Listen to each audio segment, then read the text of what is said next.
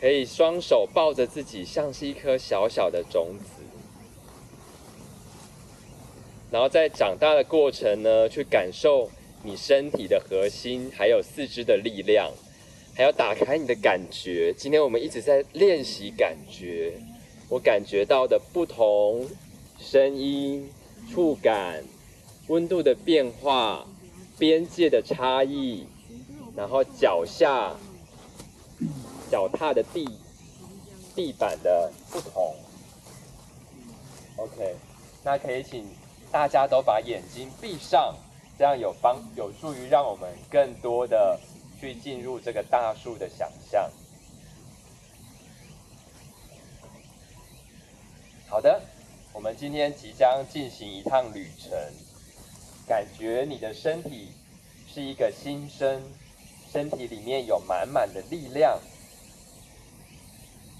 那当你是一颗种子的时候呢？你是？被风吹过来的吗？还是你是被动物或者是某个人带过来的呢？有些小种子顺利的落在泥土里，但是有一些种子，它会在石头边或者是溪水旁。无论你落在哪里，的内心都怀抱着信心。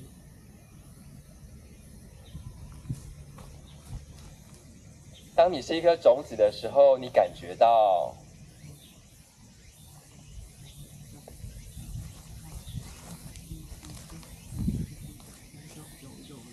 内心好像有一股力量，所以物语来了，你要把握机会把雨水吸饱；阳光来了，把握机会储存满满温暖的能量；月亮出来了。开启唤醒你的生长，这个时候，你慢慢的把根长出来，感觉好像从你的脚底窜出一条根出来，这条根帮助你吸收土地里更多的营养和水分，因此双脚就是你的根，请大家可以把你的脚动一动，与土地连接。踩稳土地，抓稳石头，找到细缝往下扎根。慢慢的，根开始吸收了营养，感受到大地与大地连接之后，我们就要长出芽来喽。感受到根与土地在一起，满心欢喜的即将窜出。现在，请大家。从内心感受，用一点点力气冲出泥土，慢慢把你的手像挣脱一样，慢慢的打开，挣脱泥土。可以的话，伸长你的颈部，伸长你的脖子，把你的脖子慢慢的往上抬，慢慢的往上抬，就像窜出来的芽一样。可以再更多往上一点吗？哦，可以再更多的仰。头吗？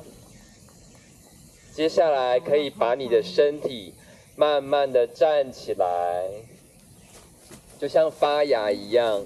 你也可以扭动你的身体，慢慢的窜出来，扭一扭，然后把你的根扎得更稳一点，把你的脚踩一踩。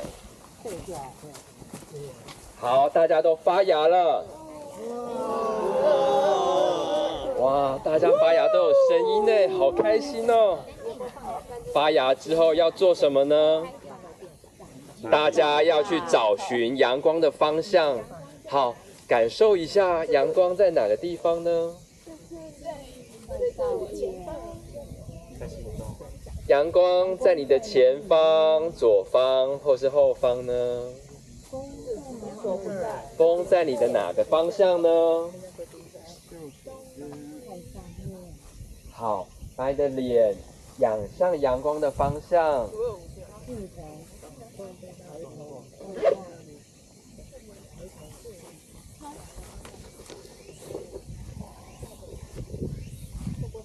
白天有阳光，晚上也有星星。你会看到日出的太阳和月亮晚上的升起，以及天上的星星，感受这片土地的云雾。有阳光的日子，也有下雨的日子。每日的每日，你的身体会更加的茁壮。这个时候，可以大家把身体扭一扭，感觉自己更加的茁壮，变更变成从一棵小苗变成一棵更大的树了。变成一棵更大的树，大家有什么感觉吗？好，试着展开你的手臂，不要害怕，尽情的伸展。打开你的手臂，不论你在什么样的环境下诞生，你都没有放弃寻找阳光的方向。所以阳光透过你的手掌进入你的手背，进到你的心，进入你的身体，再进到你的双腿，进到你稳稳扎在地上的根。让你持续茁壮茁壮，不论现在你是什么样子，你都是一棵独一无二的树了。风来了，请大家摇摇身体，感受到你长满枝叶的身体会轻轻的摇晃。春天到了，春天是什么感觉呢？有没有哪棵树要说说春天的感觉？温暖了，温暖了我长出更多的叶子，翠翠绿绿的叶子，好棒哦！长出更多的叶子，什么感觉？春天也有好多的鸟儿、虫儿，也都一起长出来，在这个大自然中茂盛的。俊成说，春天有顶天立地的感觉。春天有顶天立地的感觉，好棒的春天呢！但是很快的到了夏天，各位大树伙伴，夏天是什么感觉呢？很炎热，太阳更大了。哇，好炎热的太阳！烧焦，烧焦。这里有一棵被烧焦的大树，而且树呢已经肚子饿了。树肚子饿了。哇，那就进入秋天。秋天的树是什么感觉？要脱落的感觉。要脱落的感觉，还有呢？变黄了。变黄了。哇，有人变红，有人变黄，开始脱皮了，脱皮变得凉凉，树叶变少了，树叶变少了。那阳光有没有越来越多了呢？当你的叶子变少，你的身体就晒到更多的阳光，要储存能量，准备过冬啦。哦，好，很棒。那到冬天的时候，大树感觉到很冷。冷飕飕的感觉，有没有结冰的感觉？有人有不一样的感觉吗？有树有不一样的感觉吗？有人感觉凉，有人感觉冷，有人感觉寂寞了。哦，有人感觉寂寞了。心里面去。感受冷到冷到太冷了吧？身边的动物啊，鸟儿好像也变少了。在冬天的时候，大家的声音都变得更少了。OK，好，那再回到春天，我们在春天结束。假设现在是春天，听听这里的声音，你的身边有好多的伙伴，有小鸟在你的身上唱歌。有松鼠把你当成他们的家，可能也有一只熊抓抓你的树，偷吃你结出来的果子。好的，现在我们再次回到春天，你充满了能量，开出了花，结出更多的果子，你的果子又掉到地上，温暖的土地。再带来更多的生命，更多的伙伴与我们一起，让我们成为一片更美丽、更丰盛、更多样的森林大地。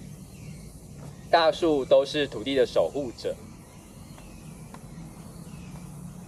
好，那我们就慢慢的再放松身体，摇摇自己的身体，从大树变成人，请大家现在要变成人哦，来告诉自己啊，我是大千，我的伙伴是假设是宇豪，我们又变成回到人，把意识带回到自己。好，再深深的深一口气，把手往上，往上，好，吐气往下。好，再深深吸一口气，往上，感受，感谢大树为我们创造很棒的空气，这么好的环境。那我们刚才透过这个大树的练习，跟自然万物、跟大树有连结。好，这个时候大家可能心里面开始有一句话，有一句诗句出来了，那就可以放在你的心中，可以想一下。请志工朋友跟我们的视障者都想一句诗句，我们等一下要把它组成一首诗。